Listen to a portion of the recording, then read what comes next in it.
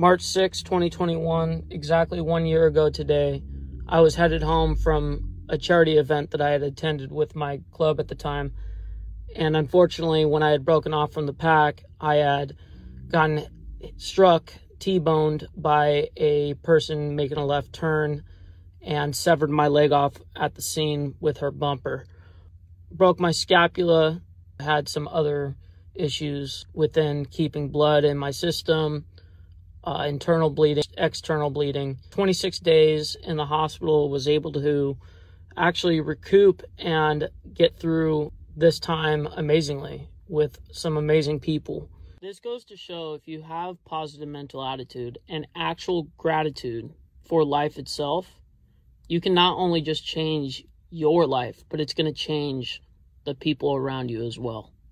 This is how you make the world a better place.